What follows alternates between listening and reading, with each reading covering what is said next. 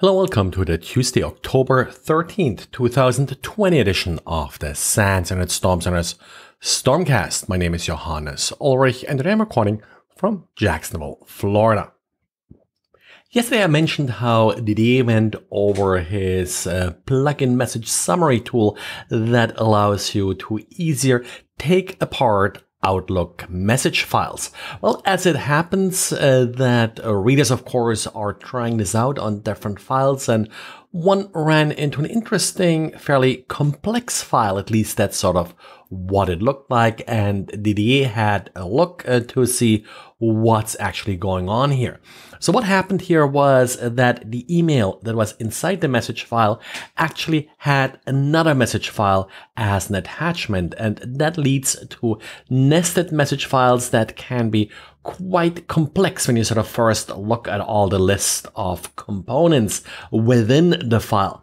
Now, Didier shows how to make sense of all of this data and in the end also how to quickly extract the subjects for the affected emails, which of course then already gives you some insight as to what exactly was contained in these different files. And looks like a lot of interest is being paid to the TrickBot botnet lately. And the most recent action was taken by Microsoft by obtaining court orders to actually disable IP addresses and trying to disrupt the command and control servers that are responsible for TrickBot. Now, oftentimes, of course, it doesn't take uh, that much effort and ISPs will cooperate or domain registrars and such. Uh, but uh, once a botnet has sort of learned how to evade various tricks and found essentially some form of bulletproof hosting, yes, it can get quite difficult and court orders and such are needed. And Microsoft took the lead because they felt also that some of their trademarks were violated by TrickBot, which gave them some legal standing to obtain these court orders. TrickBot started out sort of as a banking Trojan, but uh, what makes it uh, more dangerous sort of more recently is that it really has become sort of a malware as a service operation in that TrickBot itself can be used to drop various other pieces of malware, has been used quite widely, for example, for ransomware. It does remain, however, to be seen how effective uh, this action is. Apparently, there are still a number of command control servers for TrickBot that are still active. So maybe it'll just take a little bit more time or yes, there are some hosting providers that are immune to this kind of court action. And Google outlined some interesting changes to how Google Chrome caching will work in order to preserve privacy. So one common trick how uh, users are being tracked across different sites without cookies is, well, the caching of files. So the user visits the first site and a file is being cached with a unique name.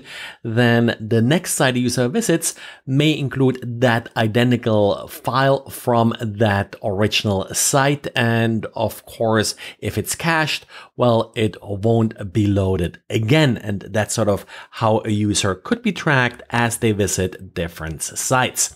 What Google will change about how caching works is how the files that are being cached are essentially indexed. And now currently, and that's kind of logical, the URL that was used to retrieve the file is used as a key. And that way, no matter which site requests uh, the file, uh, the key remains the same. So what they'll do now is they'll add the site that actually requests the file. For example, you're going to sans.org, you're downloading an image that's hosted on sans.org. It will be indexed or the key will be sans.org and then sans.org again. Now, if you're going to the Internet Storm Center's website and we happen to include the same image from sans.org, yes, it will be cached, but it will be keyed under isc.sans.edu and then sans.org. So both domains will be part of the key and that way it will be considered a new file and it will be downloaded again. And I can't tell that you visited sans.org before. Now, of course, this has some effects on the efficiency of caches. Google does claim that it does increase the miss rate only by 3.6% and does decrease uh, the page display speed on average by 0.3% because these resources have to be downloaded again. Uh, overall doesn't sound like a huge impact. I wonder how much it will affect uh, some like larger libraries like jQuery and such uh, that are literally being loaded from thousands of sites or millions of sites from a particular CDN. Well, and that's it for today. So thanks again for listening and talk to you again tomorrow. Bye.